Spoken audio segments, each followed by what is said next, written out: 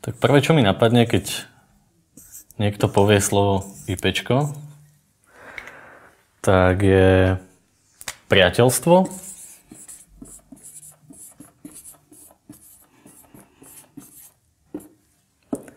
jednota,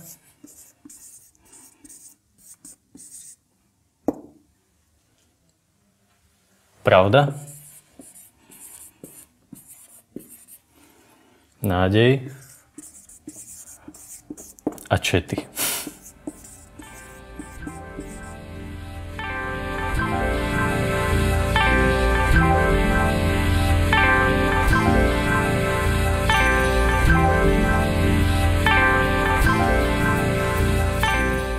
Práca v IPčku mi dáva veľa. Učím sa tým byť možno empatický pre iných.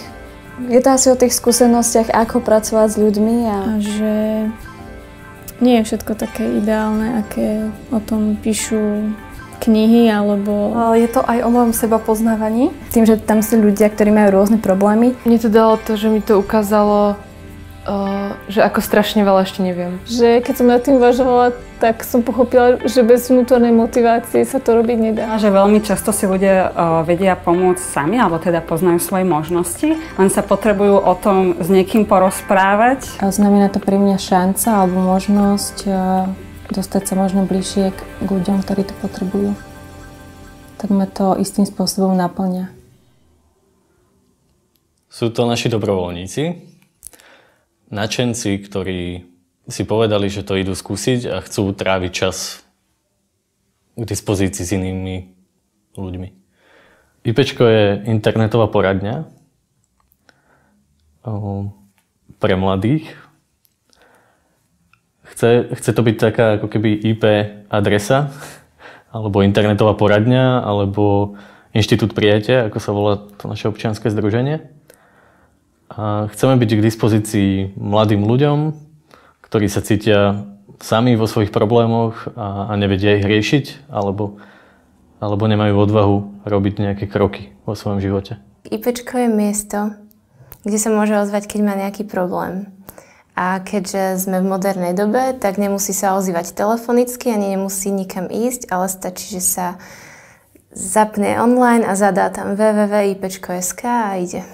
Mm, IPčko je miesto, kde môže byť ten človek sám sebou, kde sa nemusí báť, že čokoľvek, čo v jeho živote, za čo sa hambí, alebo mm, čo mu je nepríjemné, nemusí sa báť to ukázať s tým, že nebude odmietnutý, bude prijatý taký, ako, ako je, nemusí, nemusí sa nejako meniť alebo prispôsobovať. Môže jednoducho IPčko je miesto, kde ten človek jednoducho môže prísť a proste tam byť taký, aký je.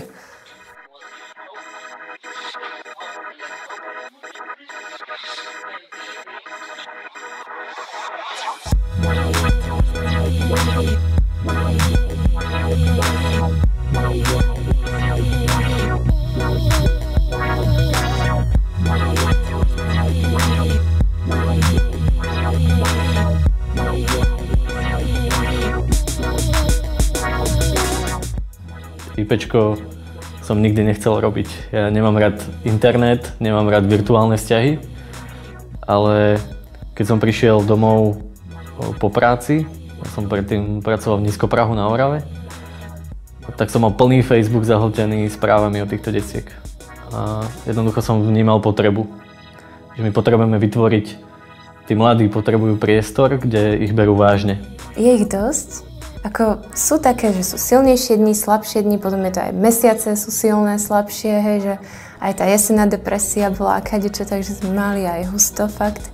Ale tak v priemere som si to vypočítala, že je to takých tých 30 četov za deň.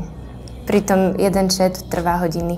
Mm, ľudia si, si vytvorili taký paralelný svet spolu s tým internetom ktorý im dal taký pocit bezpečia. Mm. V podstate ten internet je výhodný v tom, že človek sa môže veľmi, veľmi dobre pripraviť na to, čo povie a ako to povie. Býva pravidlom, že, sú to veci vzťahové. Lebo mm, proste my ako ľudia žijeme vo vzťahoch, keď sú tie vzťahy okolo nás nedobré, tak zrazu nás to nutí niečo s tým robiť. My sme si na začiatku mysleli, že, že si budeme tak akože kecať v podstate o bežnom živote. A to, čo sme my zažili, hneď ako sme tú poradňu spustili, je to, že tí ľudia nám naozaj veria, že, že chodia za nami s tými svojimi príbehmi, s reálnymi príbehmi.